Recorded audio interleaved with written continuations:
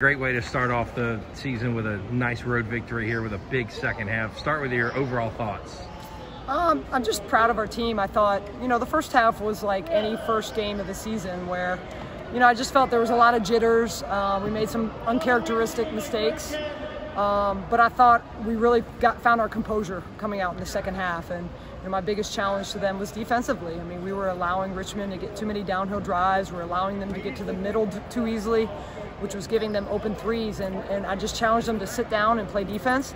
Uh, and obviously, they got my message. What was the big spark there in the third quarter with that 22 7 disparity? Well, it was our defense. I mean, there's no doubt about it. Um, you know, we didn't allow them to get anything easy. You know, I felt like if we could force them to play in the half court consistently, uh, we were the better team, and we didn't do that in the first half. Uh, but we were able to slow them down in transition. Uh, we were able to make them make tough shots.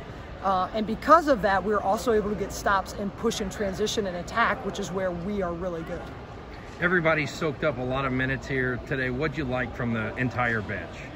I, I mean, I was proud of our bench. Um, you know, and I, I, told them in the locker room, uh, we have a very deep team, uh, but we also have, um, you know, really specific qualities to certain people on our team. And there's going to be games where, you know, it's certain players' game, and there's going to be other games where it's other players' games to play. And it's just, you know, having that team first mindset and, and understanding and being ready. And I was proud in the fourth quarter of a lot of our players who came in and you know, I thought they number one played really hard uh, and were able to do some good things.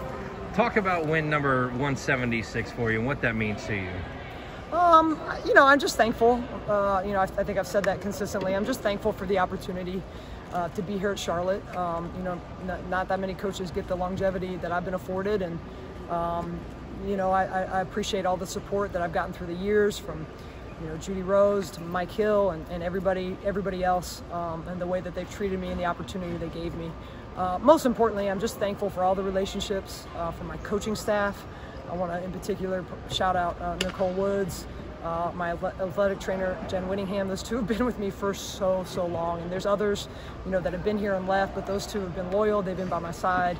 Uh, certainly couldn't do that without them or or the other staff and, and, the other players, you know, all the players that have come through and believed in me. Um, that certainly meant a lot to me. And then let's talk about Sunday, home opener, Carolina coming in. What are you looking forward to on Sunday?